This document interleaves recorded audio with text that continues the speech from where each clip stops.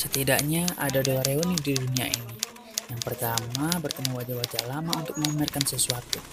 Yang kedua, bertemu wajah-wajah lama untuk menghasilkan sesuatu. Perjalanan pun kami mulai. Hal yang tak boleh terlupakan yaitu membeli bekal makanan. Karena perjalanan ini cukup jauh.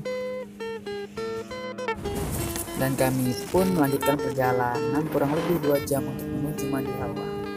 Perjalanan panjang itu pun tak terasa ketika kami melihat sebelah kanan ada aliran anak sungai yang begitu bersih. Sehingga kami santai sejenak di sana.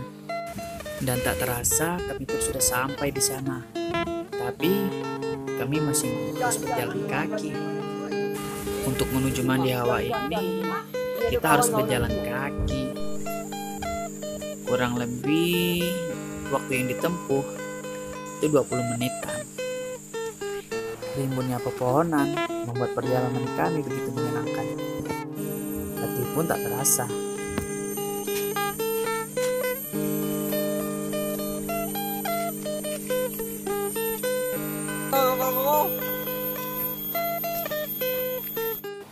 Tak terasa jalur yang kita lewati ini semakin parah dan ternyata desa ini semalam habis diguyur hujan.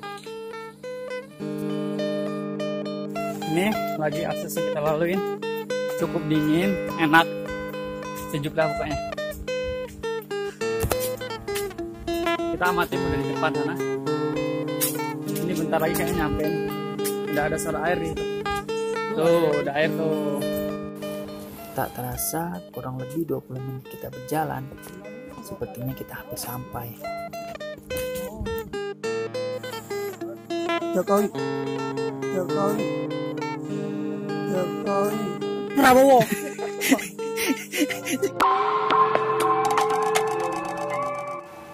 Dan setelah melalui jalur yang lumayan sulit tadi, akhirnya kita sampai di Mandihawa Hah? ini.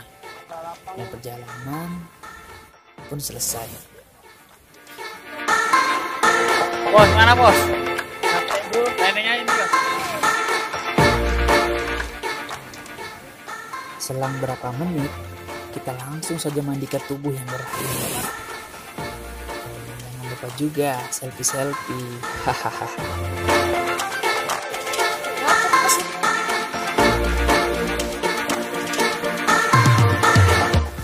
Tak butuh waktu lama, kita langsung aja terjunan dari atas bebatuan ini.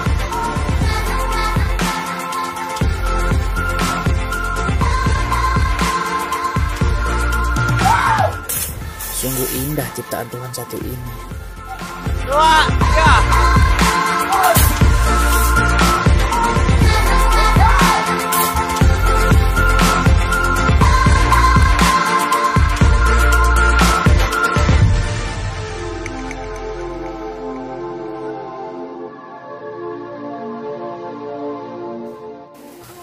Sungguh indah ciptaan Tuhan satu ini. Tetes air mengalir deras, membuat suasana sunyi menjadi pecah. Sinar matahari yang menyelimuti genangan air, membuat suasana layaknya surga dunia.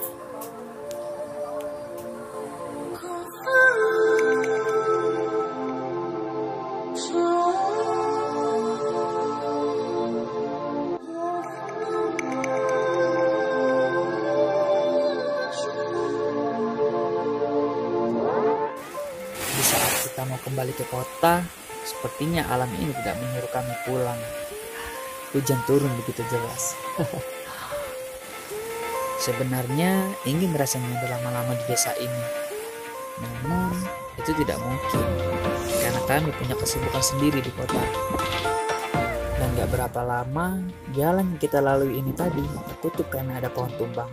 Dan kami pun berinisiatif untuk langsung membantu bapak tersebut.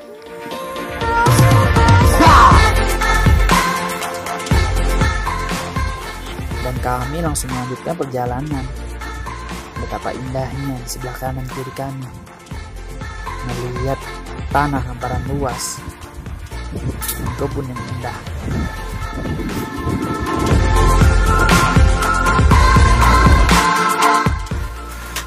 Dan perjalanan singkat ini pun selesai.